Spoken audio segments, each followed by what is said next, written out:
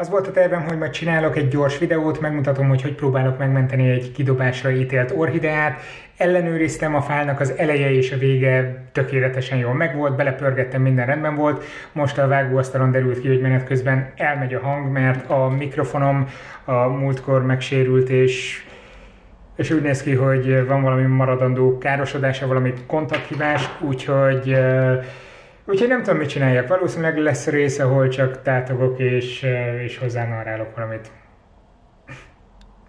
Szerettem volna egy könnyű videót csinálni, ahol nincsen vele macera, ahol minden megy simán, de, de úgy látszik, ez soha nem fog összejönni. Na mindegy, nézzétek.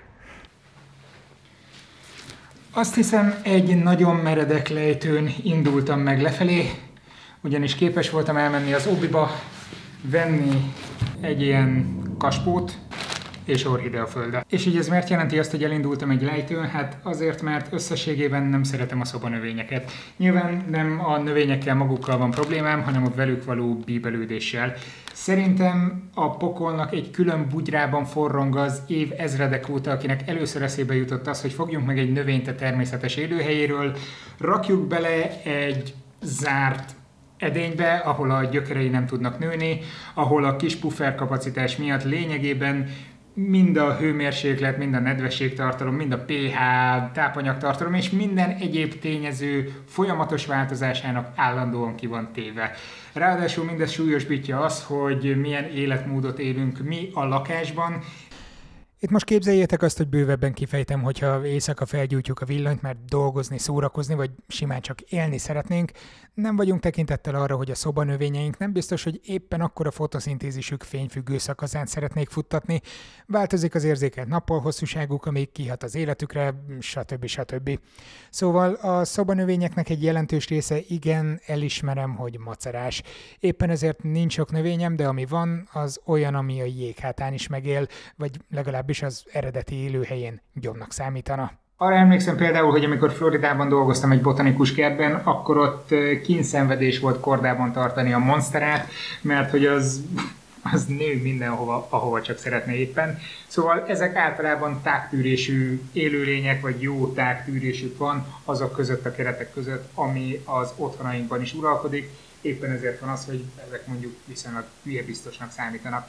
Na most az orhidea, gondolom sejtitek, hogy nem feltétlenül tartozik ezek közé. Ha semmi más, csak a virágát nézitek meg, elég elriasztó tud lenni néhány ember számára, tekintve, hogy ez ilyen nagyon érzékeny, törékeny dolognak számít. És valljuk be, jó sok orhidea ilyen is. Soha nem szerettem növényeket venni, de az elmúlt években ráálltam arra, hogy ahol csak látok kidobott vagy kidobásra ítélt növényt, azt megpróbálom megmenteni, és, és faragni belőle egy, egy normális növényt. Ha akarjátok, csinálhatunk valamikor egy ilyen szobanövény túrt, és mindegyik növénynek elmondom a történetét. De térjünk vissza az orhideára, mert ez, ez most egy különleges esetnek számít. Talán két hónappal ezelőtt vittem le a szemetet, felnyitottam a kukának a tetejét, és ezt a növényt láttam benne. Ennél nem tudom, hogy jobb állapotban volt-e, de nagyjából ilyenben ott volt rajta még a virágzati szár, amin eredetileg a virágok nőttek, elvirágzott, a tulajdonosa valamelyik lakó a házban megunta, és kidobta a kukába. Viszont teljesen jó állapotban volt, úgyhogy arra gondoltam, hogy felhozom ide a lakásba, és megpróbálom megmenteni. Ez viszont néhány hónappal ezelőtt volt, úgyhogy az idő az nem feltétlenül velem együtt dolgozik, tehát nézzük, hogy mit tudunk ebből kihozni.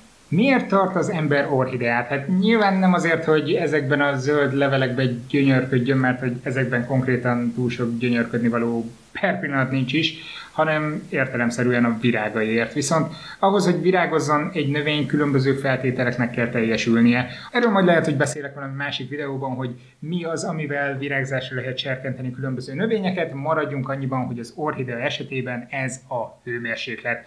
Ha a hőmérséklet egy picit lecsökken, akkor beindulnak olyan folyamatok, amelyek a virágrügyek eh, fejlesztéséért fognak felelni, tehát az orhideáknak ahhoz, hogy virágozzanak, mindenképpen szükség van egy hidegebb időszakra. Ez nem túl hosszú, néhány nap, 10 Celsius fok környéki hőmérsékleten elegendő lehet ahhoz, hogy elkezdjen majd később virágozni az orhidea.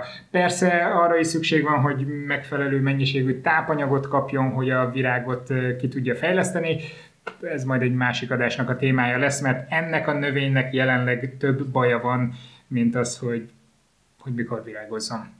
Szóval felhoztam a növényt a kukából, és az első dolog, amit megnéztem, hogy vannak-e rajta különböző kártevők vagy kórokozóknak jól látható nyomai.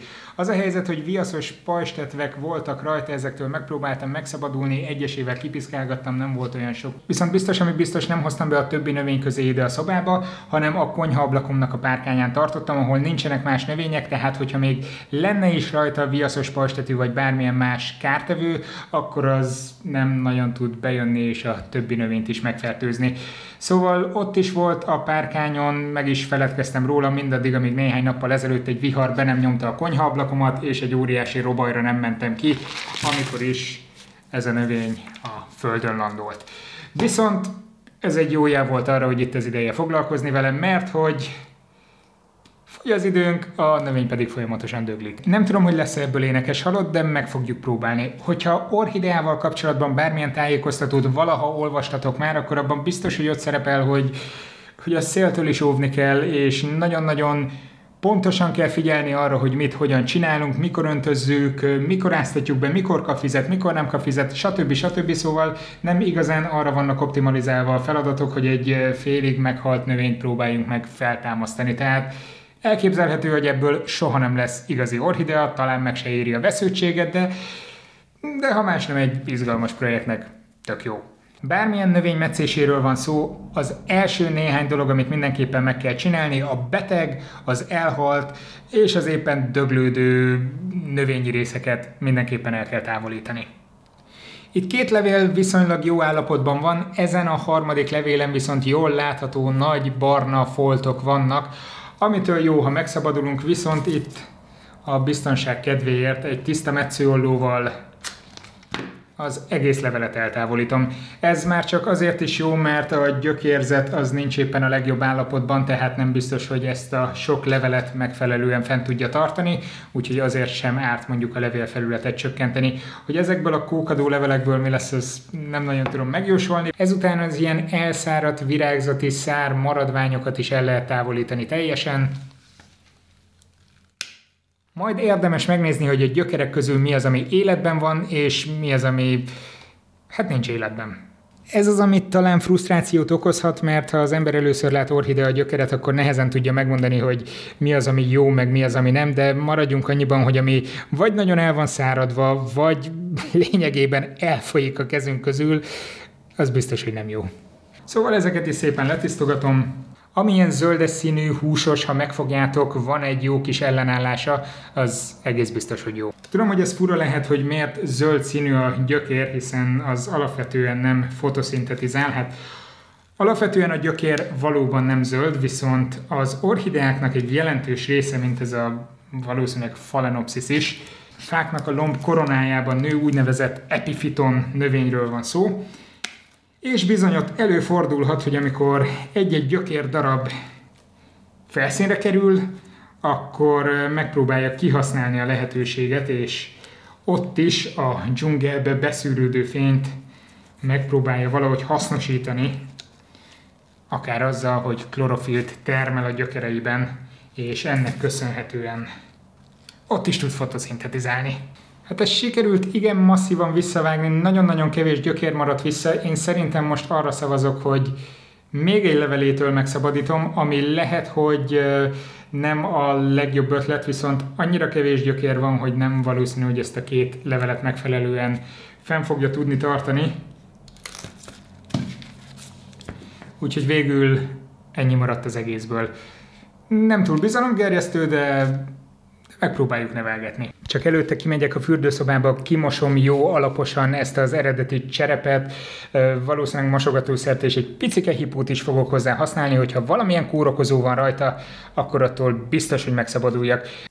Jó, a kamerát nem vittem ki a fürdőszobába, szerintem el tudjátok képzelni, hogy milyen az, amikor suvickol az ember, gyakoroljátok otthon, aztán menni fog. Vannak, akik a növény felszínét is leszokták ilyenkor fertőtleníteni. Van itthon éppen hiperol, hoppá, itt maradt egy darabka elrohadt gyökér.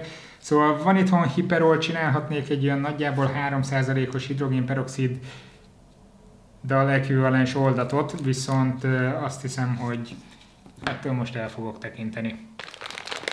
Jöhet a spéci keverék, amit nem a legjobban csináltam, de egy kicsit nehéz, úgyhogy közben a kamerának is próbálom mutatni.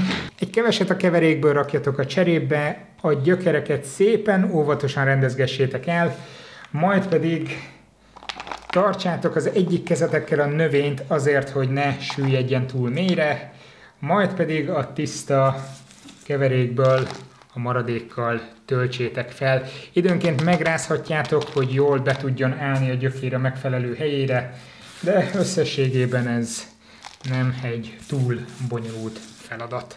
Bár az acskónak szerepel, hogy átültetés után egy-két napig ne öntözze, én erre most annyira nem fogok hallgatni, ugyanis általában az átültetési procedúra úgy szokott történni, hogy egy kiváló egészségi állapotnak örvendő növényt fogunk, jól beáztatunk, jól benedvesítjük átültetés előtt, ezt követően elképzelhető, hogy tényleg jobb, ha egy-két napig utána nem tocsog a vízben. Én ezt viszont most meg fogom szivetni, ismét a szivetni, szivatni, ismét a fürdőszobában egy kis vízzel, csak hogy jól átnedvesedjen, de utána valóban napokig úgy fogom hagyni, és nem fogom újonnan öntözni. Viszont amire mindenképpen figyeljetek oda, az az, hogy egy frissen átültetett növényt, különösen, hogyha ennyire meg van csonkolva szerencsétlen, ne rakjatok ki azonnal tűző napra, magasabb hőmérsékletre, vagy olyan körülmények közé, ami nehezebben tolerálhatna eleinte, ugyanis aklimatizálódnia kell az új környezetéhez, az orhideákat amúgy sem célszerű tűzőnapra kitenni, pont azért, mert hogy a dzsungelben sem legfelül szoktak nőni tűzőnapnak kitéve, hanem azért mindig szűrt fényt szoktak kapni valamennyire, és akkor fognak virágozni, és akkor fogják jól érezni magukat. És ezzel párhuzamosan ne is essetek bele abba a hibába, hogy úristen szerencsétlen, hogy le van csoffadva, tehát mindenképpen tápoldatot kellene kapnia. Ezt egyelőre semmiképpen ne tápoldatozzátok, ez mondom nektek, mintha nálatok lenne, szóval én nem fogom tápoldatozni.